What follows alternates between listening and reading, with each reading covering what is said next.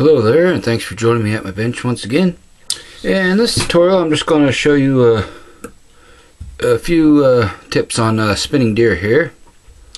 And I'm going to show you how I spin it and also how to stack deer hair so you can get multiple colors like if you're going to tie a, a bass bug and whatnot. First I'll show you just the basics for spinning deer hair. And I'm going to use white here for the demonstration. So the first thing I'll do, so this I'm just going to show you how I spin it if I was making a, a bug uh, all one color. I'll just snip out a, a, bunch like so here and the one thing is you always want to try to get the under fur out of the hair. Just comb it out because if you get all that fur out of it it'll spin much much much better for you. So get all that out I can. And I'll snip the uh, tips off of it here. Now so what I do is just place that here on top of the shank like so. And I'm going to come up around with one wrap, tighten a little bit. Second wrap, tighten a little bit more. Third wrap, pull down tight, release. And that here will spin around the shank. Nice and evenly here. I'm just going to take my needle and catch those hairs underneath there.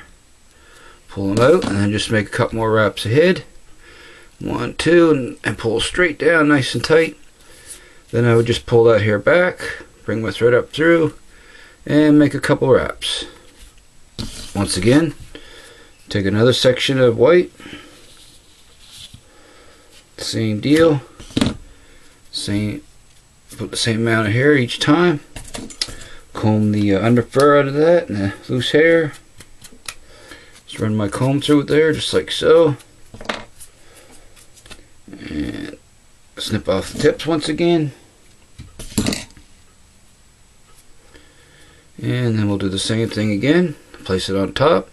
Make one wrap. Pull a little bit a little bit tighter. Then the third wrap pull nice and tight and just let it spin around the hook. Just like so. And you can always take your needle and go through. If you think you have any trapped hairs there just like so. Make one more wrap then I'll pull that all back and if I was tying the bug, I would take my hair packer, and you can also, if you want to pack it in nice and tight, just take a hair packer and pull it back, just like so. Okay, and I'll tie one more clump on here, then I'll trim it just to show you. I'm not going to tie a whole bug or anything, I'm just, just, a, just going to show you how to do it. Just a demonstration video here. And comb that under fur out of that bunch any loose hairs? Snip off the tips. And I'll spin this guy right in front same way. Couple wraps. Third wrap let it spin around. And make one more two more wraps pull straight down. Then I'll wrap in front. Then I'm just going to tie this guy off real quick here. Nothing fancy just a little half hitch here or excuse me, whip finish. Okay, now I'll cut that thread here. Okay, now I'll trim that just to show you how I would trim it. Just say I was tying a popper. I just just want to show you how it looks once you trim it. And just trim straight down like so. Both sides. And like so here just to give you the gist of how to spin deer hair and this applies for like if you're spinning them uh, like a hopper head or a muddler head as well.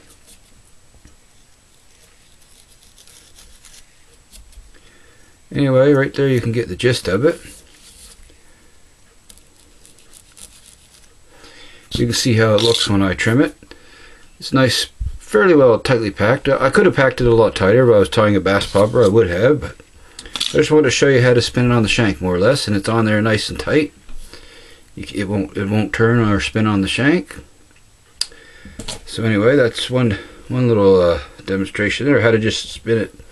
Now I'm going to show you the next one here. I'm going to show you how to uh, stack different colored deer hair.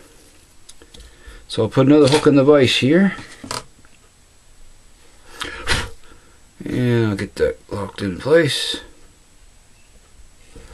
start my thread on the hook here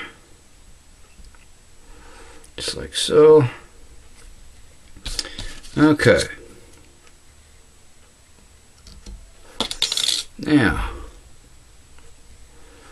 alrighty, now for stacking deer hair, we're going to start the same way. I'm going to cut another section of white. Just like so here.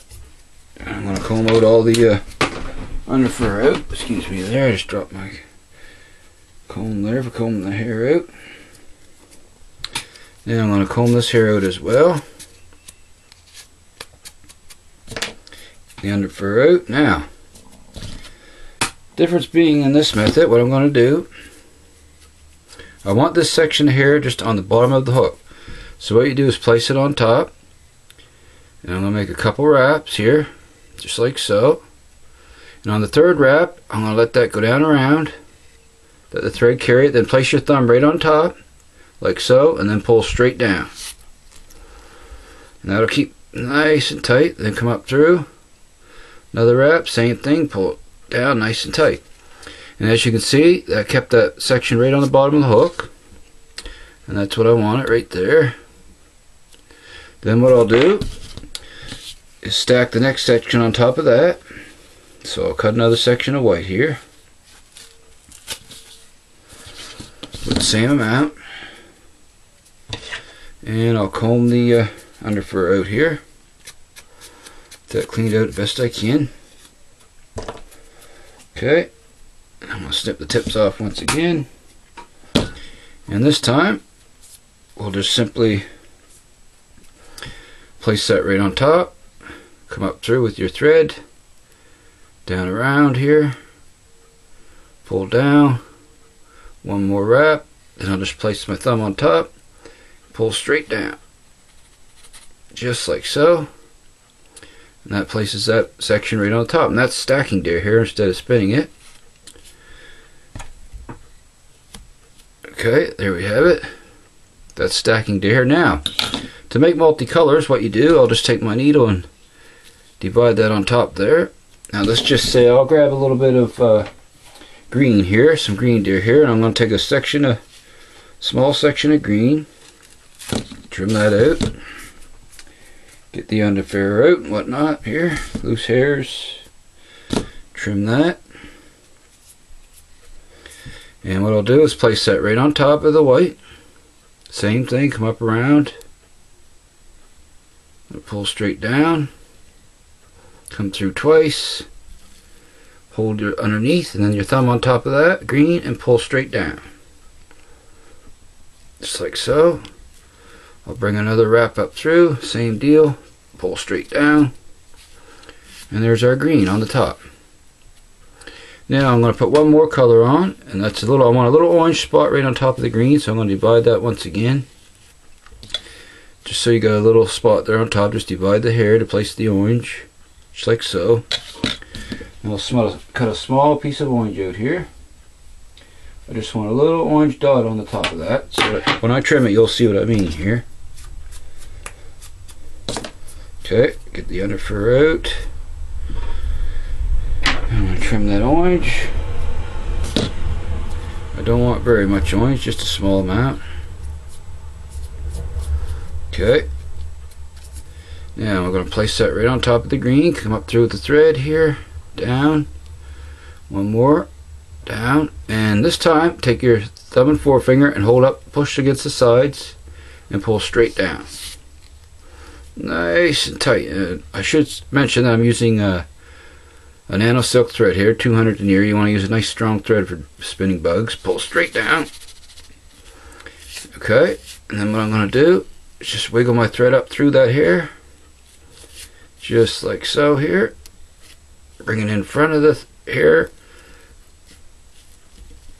And I'm going to make two or three wraps nice and close in front of there, just like so.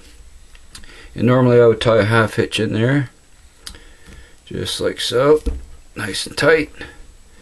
And if I was tying a bug, I would keep going ahead and do that same process again until I filled the shank and then trim the bug. But for now, I'm just going to trim this guy here, show you. Cut the thread first. Then I'll trim this hair to show you how it looks with the uh, colors on it here. How you get the effect of your multicolors on a bass bug.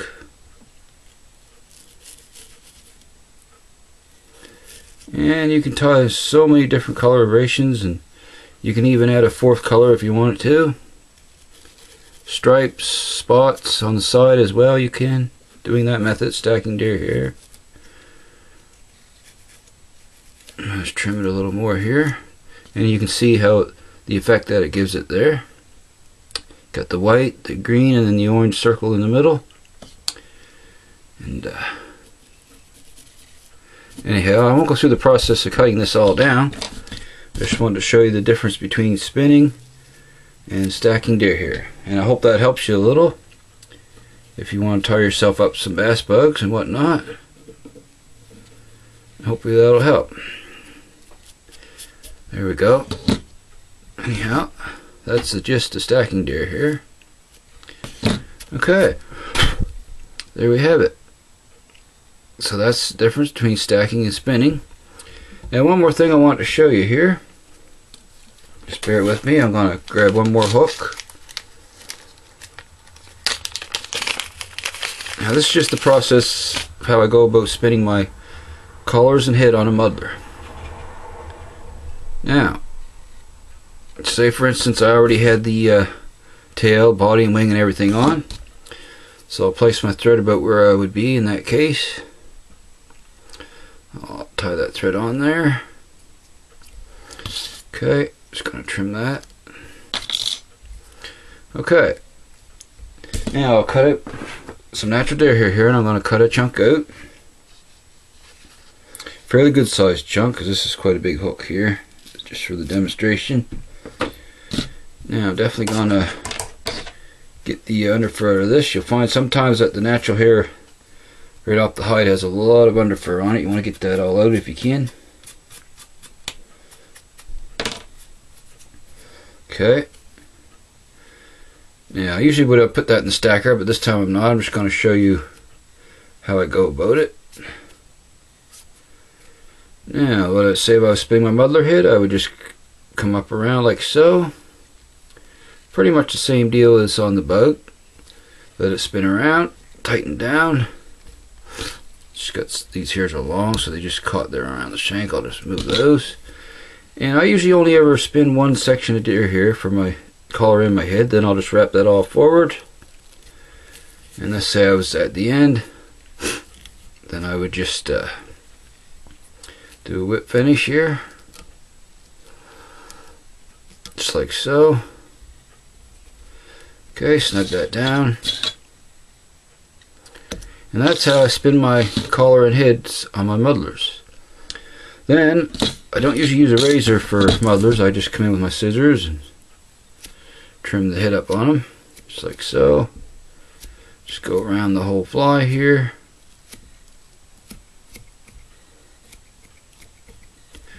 just like so. Then you get the gist of it there. You can see the the uh, muddler, the shape of the muddler head and whatnot, and the collar all the way around. And that can be used that method for any size muddler, small, large, medium.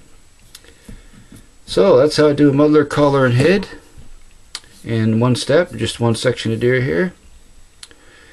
So there's three methods of spinning deer hair First, the uh, just spinning it for a bug, and then stacking deer hair, stacking up different colors. So I hope these uh, three uh, steps here can help you a little bit if you're having struggling with spinning deer hair or, not. And uh, I want to thank you so much for watching. And if you haven't subscribed yet and you'd like to consider subscribing, go ahead. I appreciate that a great deal. Until next time, everyone, uh, happy tying. I'll see y'all again soon. Stay safe, and so long for now, folks.